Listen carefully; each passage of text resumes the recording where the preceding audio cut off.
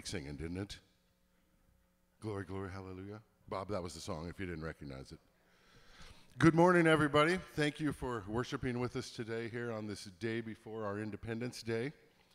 We, uh, Matt is sick, so I'm feeling quite a bit of pressure handling all this stuff. Um, bear with me. If you are able or care to, I would ask you to rise for our opening song, Open the Eyes of My Heart.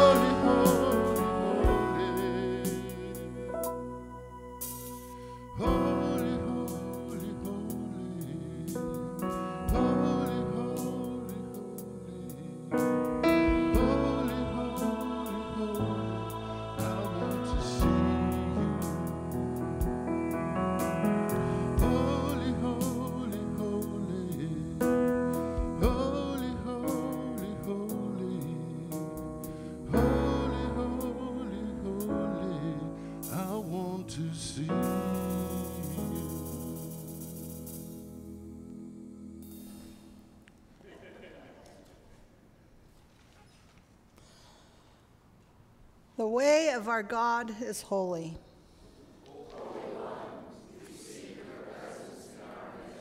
The way of our God is wondrous.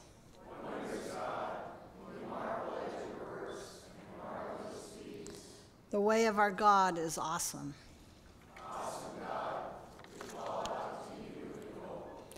And I invite you to please be seated if you wish. If you'd like to keep standing, you may. We live in God's world, but a world broken by our own doing. God offers us wholeness, yet we turn away, refusing God's love because it comes through means we dislike. Let us confess our brokenness and seek to be open to God's wholeness through whatever means it comes. Holy God, we confess that we have sinned against you. Are we together? Let's start again. Holy God, we confess that we have sinned against you and against your whole creation. We have not loved you with our whole being. Rather, we have loved ourselves at the expense of others. We have ignored the cries of the poor. We have turned away from those in need. We have shunned those who are different from us. We have abused and exploited each other and the world you have made. You have sent prophets to convict us of our sin, yet we have rejected them. Forgive us, O God. Open our eyes, our ears, and our hearts to your presence all around us. Transform us in our weakness to live with the power of the risen Christ, accepting, loving, and serving all, and living in the harmony with all you have made. In our brokenness, God is ever near. In our time of need, God's love surrounds us. We must simply be open to receive it. Sisters and brothers, God knows our brokenness, and God is here to bring healing and wholeness. Receive the good news of God. Through Jesus Christ, we are forgiven, and by the Holy Spirit, we are nurtured to wholeness.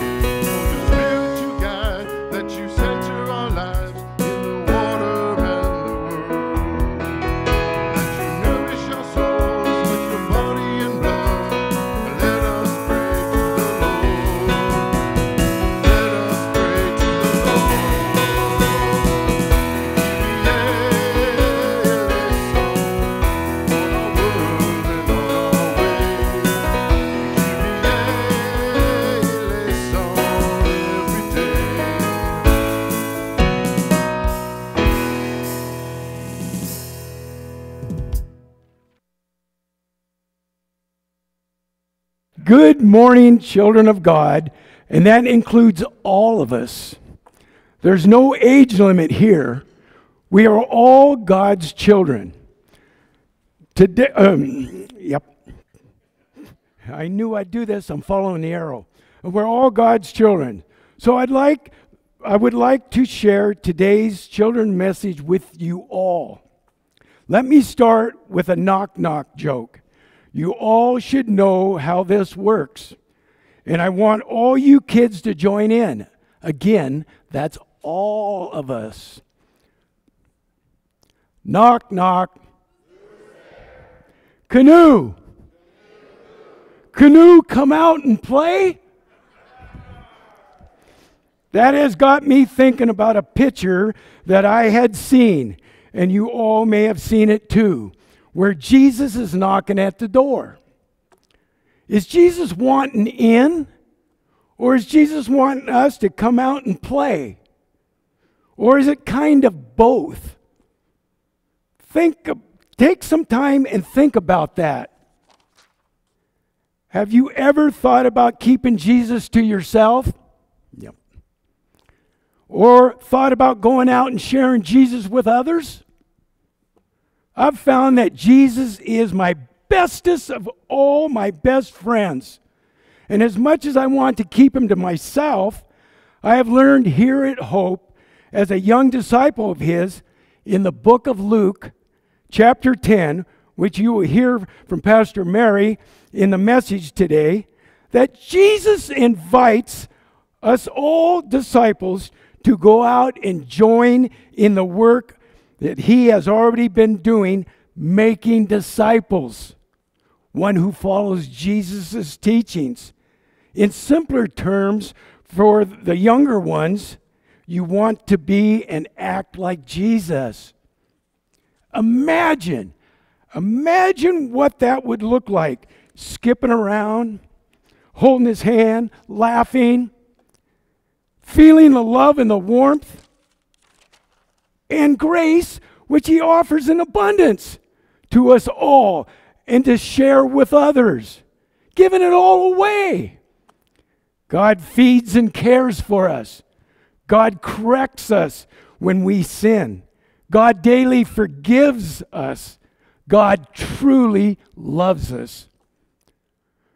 Let us be that bright light, going out doing God's work, sharing that shining light, God's presence, so that others can shine too. It's like you are that front porch light which shines in the darkness, attracting all the moths and bugs around. So I guess what I'm saying is be who you are in Christ. So when you go out to play or, or work or school, take Jesus with you.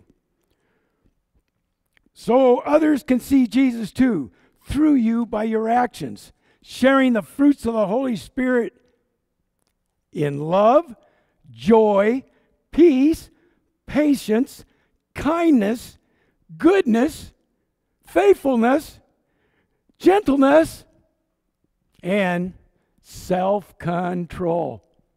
Hmm. When you hear that knock at the door, open it and go out and share God doing His work by spreading His word and love with a shine which will attract others. Making disciples, wanting what we have eternal life with the Lord, bringing glory to God. So when you hear knock, knock, canoe, canoe, come out and play, open the door and head on out, taking Jesus with you to share with others, making disciples. By keeping your focus on Jesus daily, by talking to Jesus daily, by sharing Jesus with others daily, by giving Jesus thanks daily, and by living with Jesus in your heart. Thanks be to God. Oh, oh, oh, wait a minute. P.S. Something to remember. Letting Jesus into your heart changes you. Going out to play with Jesus changes others. Thanks. Thanks, Bob. so, with that said, um, the Holy Gospel according to Luke, the what chapter? Ten. Ten, thank you. After this, the Lord appointed 70 others and sent them on ahead of him in pairs to every town and place where he himself intended to go. He said to them, The harvest is plentiful, but the laborers are few. Therefore, ask the Lord of the harvest to send out laborers into his harvest. Go on your way. See, I am sending you out like lambs into the midst of wolves. Carry no purse, no bag, no sandals, and greet no one on the road. Whatever house you enter, first say, Peace to this house. And if anyone is there who shares in peace, your peace will rest on that person. But if not, it will return to you. Remain in the same house, eating and drinking whatever they provide, for the laborer deserves to be paid. Do not move about from house to house. Whenever you enter a town and its people welcome you, eat what is set before you, cure the sick who are there, and say to them, The kingdom of God has come near to you. But whenever you enter a town and they do not welcome you, go out into its streets and say, Even the dust of our town that clings to our feet, we wipe off in protest against you. Yet know this the kingdom of God has come near. Whoever listens to you listens to me, and whoever rejects you rejects me. And whoever rejects me rejects the one who sent me. The 70 returned with joy, saying, Lord, even in your name, even the demons submit.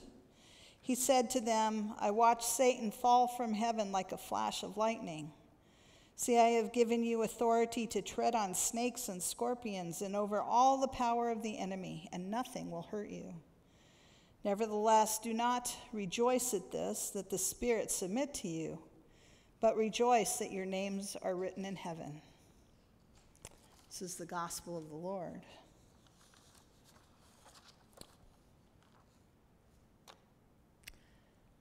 So, I grew up in the city, the concrete jungle. My family lived in Denver for my first 13 years, and then we moved to the suburbs just south of Denver. And for me, the seasons of the year were marked by time at the pool all summer, running around the mall with my friends all fall, skiing in the winter, and if we were lucky and had enough snow, skiing in the spring. Everything we needed was in close proximity, but every now and then, just for the heck of it, we would drive clear across town to go check out an, a different mall. That's what you did when you were young. I hate malls now.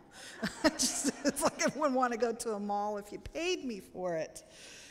But we could do that because back in those days, you could drive across Denver and it took about five minutes instead of an hour because you got hung up in traffic. And it's probably about the same here, I'm guessing. So I like to stay in my little corner of Eagle and it's all good. I have everything I need. But seeing as I grew up in the city and I guess I'm a little bit thankful to be back in the city, um, as much as city we have here, um, but just a short drive to Boise. Um, needless to say, I had no knowledge or intelligent thinking about rural life. Now, that changed really quickly because number one, God has a fine sense of humor, and when I was driving from Denver to eastern Nebraska every year during my college life and even in seminary. Then I was driving from Denver to Dubuque, Iowa. I drove through a lot of rural area and I said, who would ever want to live out there? and then I said, okay, maybe I'll live out there, but who wants to be a pastor? So everything I kept saying, who would want to do that? God said, you do. like, thanks. So, anyway, so my ignorance about rural life changed in a really big hurry when I was called to a tiny, teeny weeny little First Lutheran church in Potter, Nebraska. Now, surprisingly, four people, but two of the four included Elvin and me, How many of you ever been by Potter? I bet you have. How many of you driven on I 80 through Nebraska to go to somewhere else? You've driven by Potter, Nebraska. it's just right off of I 80, about 80 miles in from, from Cheyenne. Um, very, very rural, out in the middle of nowhere. And that's where I spent my first 10 and a half years in my first parish. But there I learned that seasons aren't about hanging out at the mall or at the pool or skiing for that matter, because you don't ski in western Nebraska. Um, the seasons are marked by planting and harvesting. So by now, to my best recollection, because it's been a day or two since I've lived there, wheat harvest should be happening. And that's what everybody, the entire town, the entire region is engaged in. Now, even if we don't farm, and I know some of you have because we kind of talked about that last week, um, it's not hard to find evidence of farming around us still. I mean, even if we live in the city. I mean, even the, the road that I go on to, to get home from here, which isn't very far, there's a nice little cornfield that's so beautiful. And everything seems right on time. The corn is knee high by the 4th of July, isn't that the, the term? it's, it's doing, doing that right now. So I think it's perfect for this particular time of year, then, that we hear both Paul and Jesus using language of harvest. Paul uses that still often used phrase, you reap what you sow. And Jesus encourages his disciples into mission when he says the harvest is plentiful, but the laborers are few. Both of them use language that we can certainly understand, even if we aren't farmers. But I just want to take a step back and ask the question why, why do people farm? Now, the 10 and a half years that I lived in Potter, Nebraska, from my observation, it's a very risky, risky job. So people have to love, love, love, love what they're doing. Because all it takes one five minute hailstorm to wipe out the entire crop for a year and set you back two years. So farmers love what they do. They love the soil, they love the planting, they love the harvesting, they love everything about it. Don't know that they love the price they pay for their equipment, but. And then they do it because it's a living, or because that's what the family has done for forever. They do it because the world needs farmers. I mean, we just do. You know, where does our food come from? You say the grocery store. Well, where does it come from before the grocery store? It comes from somebody's farm or, or ranch.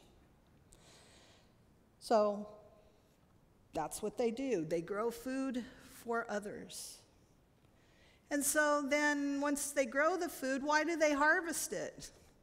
Well, it just doesn't make sense to, to grow it and then just leave it sit in the field and rot, right? So that's a good reason to harvest it because they don't want to waste their time, their money, their energy.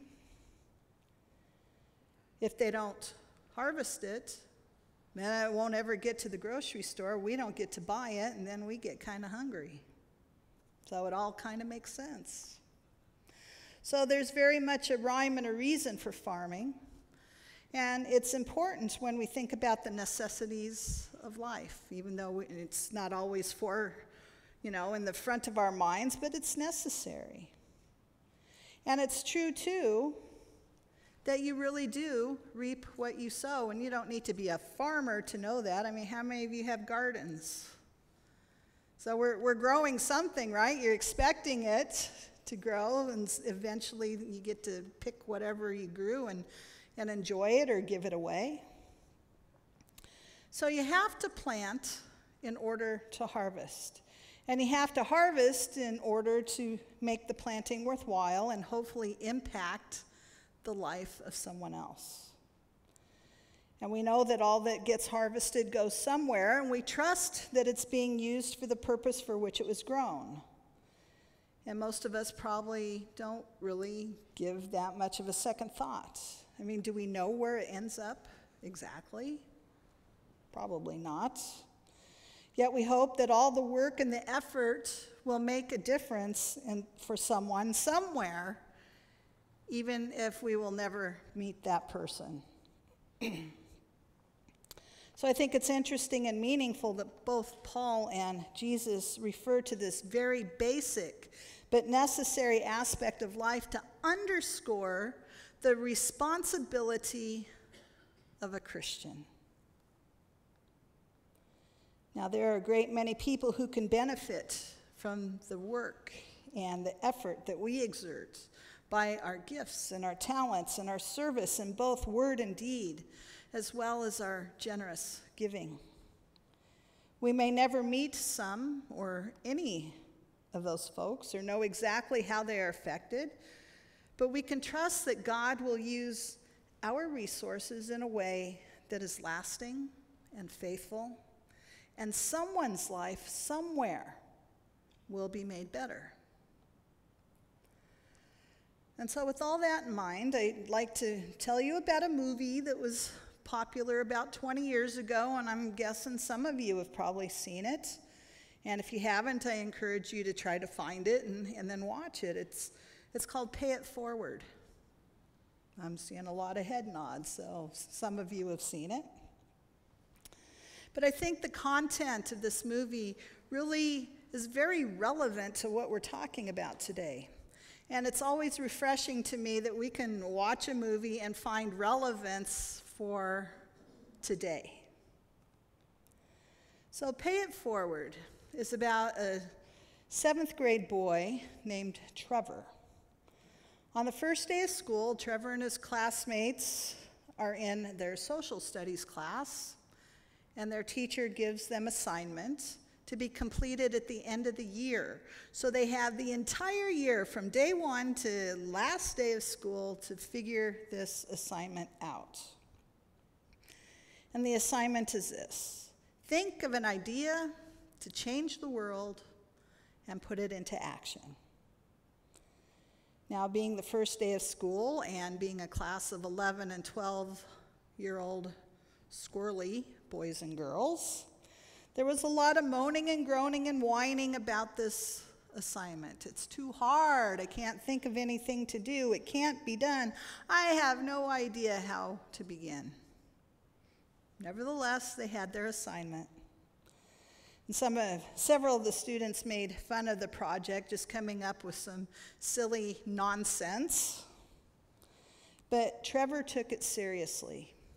He pondered and he contemplated and he pondered some more. Then the idea came to him. When someone would do something nice to him, instead of paying that person back, he would pay the kindness forward to someone else. And so he decided for each nice thing that happened to him, he would pay it forward to three people and then encourage them to pay it forward to yet three more.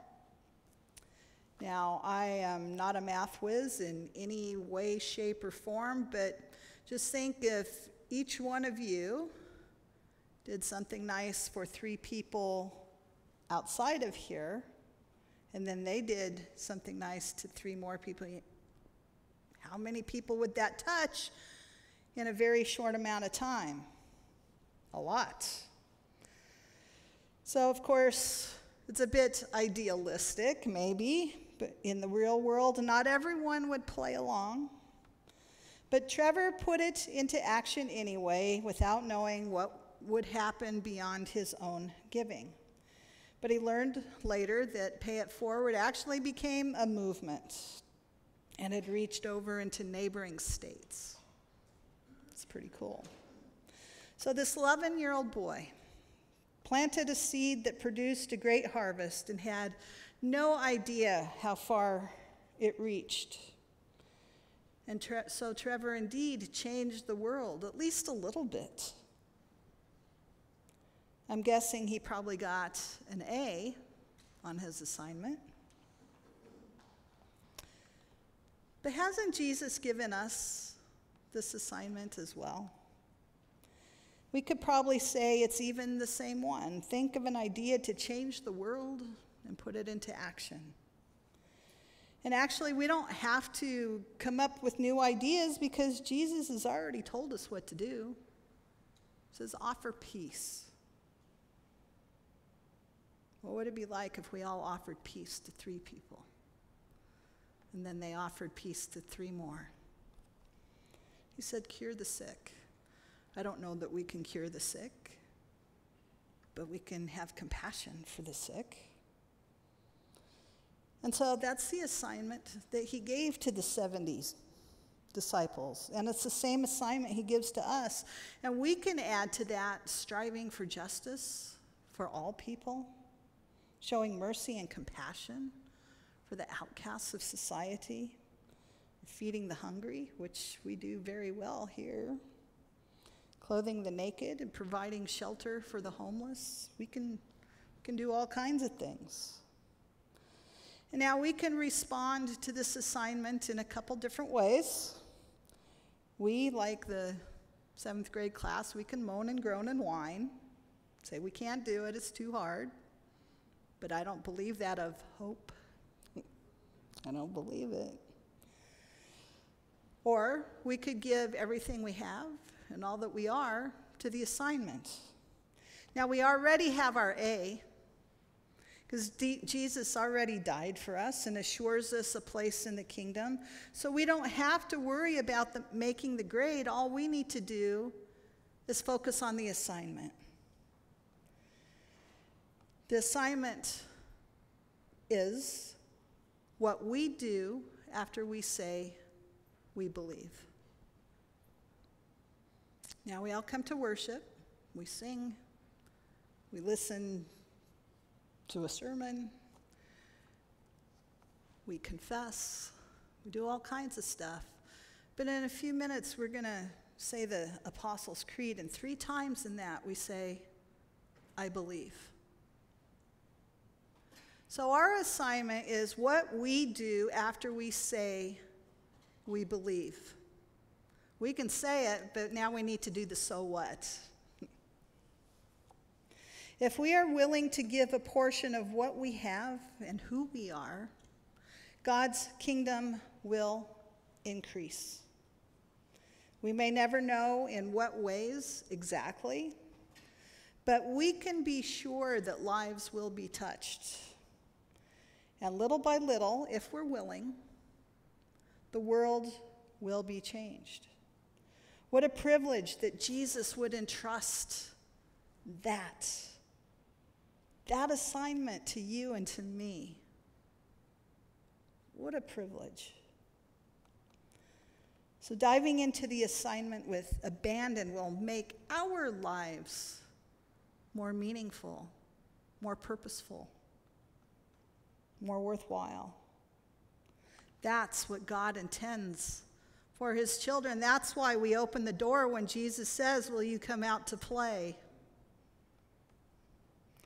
So, like the 70 that Jesus sent out, we can be filled with joy at the wonderful things that can be done in Jesus' name. So, think about the blessings that you have received from God. And now go pay it forward. Amen. This next song is a new one. Never done it before, but um, it's about the Bible. And the funny thing was, when Mike and I got together Friday afternoon to see if I could sing it, um, I never really knew what it meant. But it talks about the Old Testament and how it really focused on justice. And then Jesus came and was sacrificed. And then, praise the Lord, we got this thing called mercy. And uh, I, for one, am very thankful for mercy. It is called Mercy Came Running.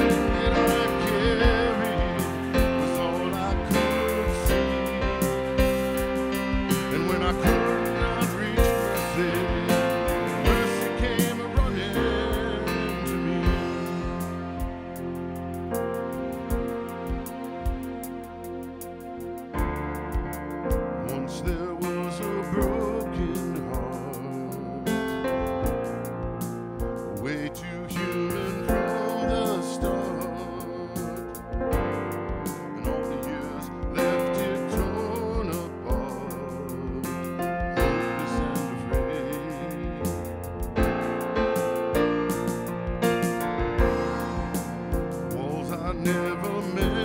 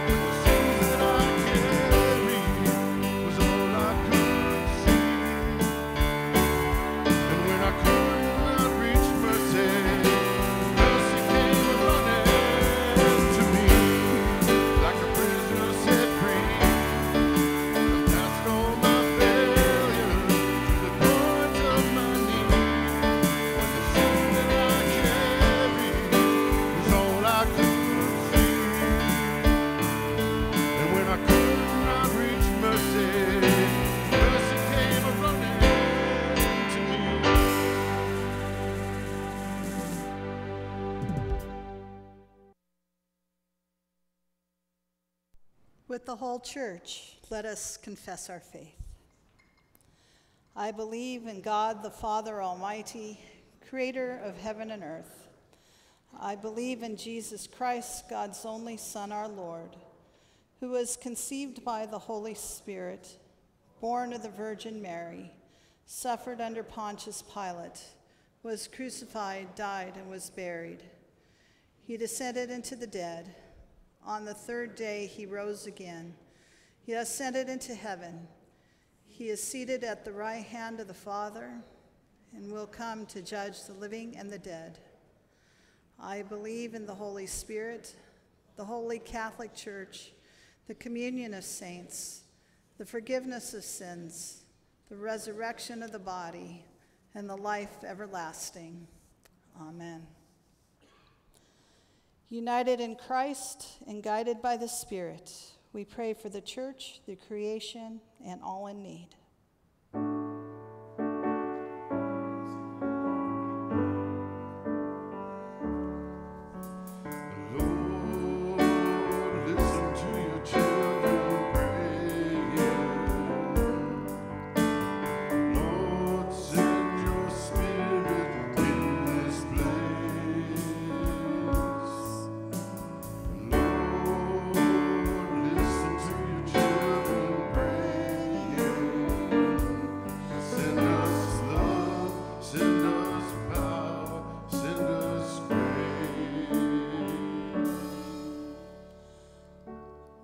Harvest, you send your church into the world to proclaim Christ's new creation to all. Renew the church as it carries out your mission of peace and healing. You guard the nations. Let no leaders exalt themselves, but lift up the most vulnerable and work for the good of all. Send your spirit to eradicate classism and inequity, violence and war, poverty and hunger. You desire abundant life for all. As we celebrate Independence Day, instill in us gratitude, generosity, and persistence in working toward freedom for all people. Mothering God, you care for all people in need. Nourish those who are hungry, restore employment to those who have lost work, heal those who are sick, especially Alan, Luann, and Dale and those who have who are dying or grieving, especially Eloise. And especially now we lift up to you those in our hearts, aloud or silently.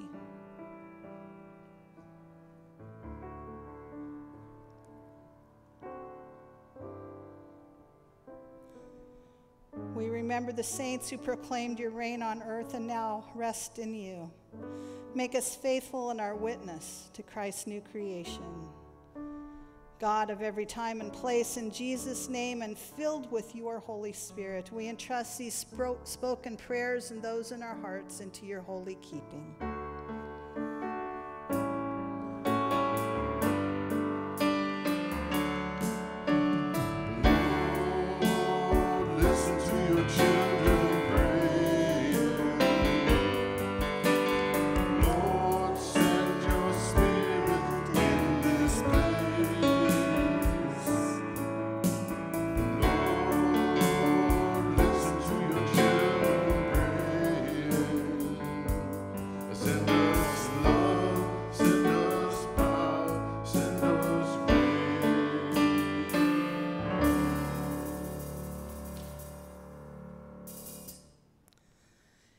The night in which he was betrayed, our Lord Jesus took bread and gave thanks, broke it, and gave it to his disciples, saying, Take and eat.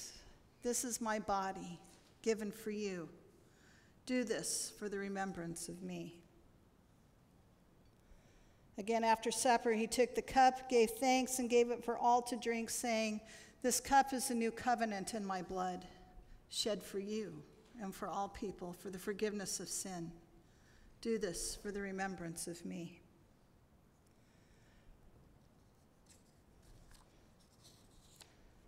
Lord, remember us in your kingdom and teach us to pray.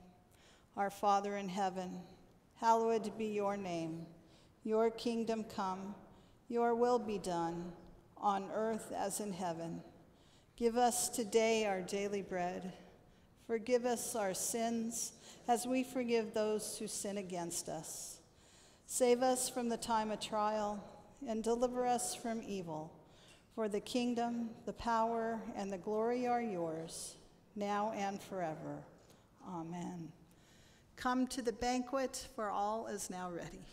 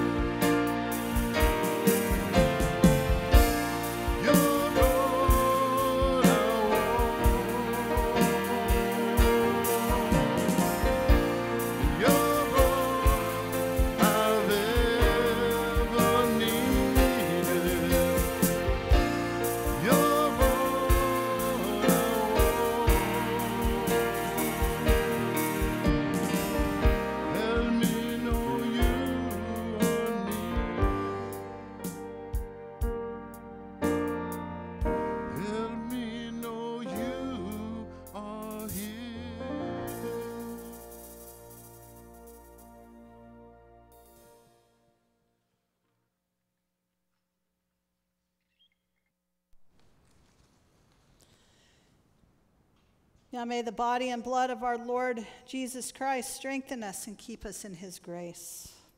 Amen. And may the beauty of God be reflected in your eyes, the love of God be reflected in your hands, the wisdom of God and the knowledge of God flow from your heart, that all might see, and seeing, believe. Well, thanks again so much for coming to worship today. Um, be safe. Don't be silly. These things are dangerous, Bob. So, if you are able and or willing, feel free to stand for this song. I, I did have an interesting conversation before the service started. Um, I don't know, I don't want to put anybody on the spot like, did you hear the closing song last week? But when we, we did Good God Almighty last week, and somebody really liked it, and, and, he, and he admitted to being a slow learner, and he would like it sung more. So would you guys be okay with that, those of you that heard it? You remember it?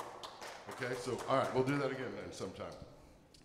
Um, unfortunately, this one's not it. well, hey, we make plans. We, we actually like practice for a half an hour or so. This is called Go in Peace and Serve the Lord.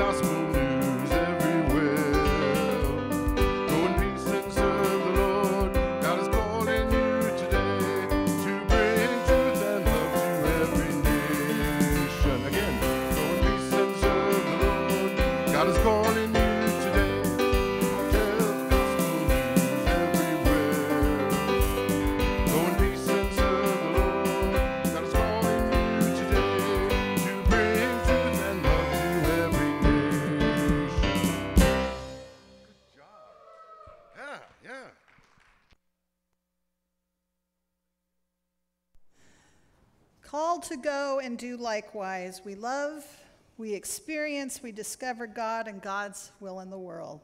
Thanks be God.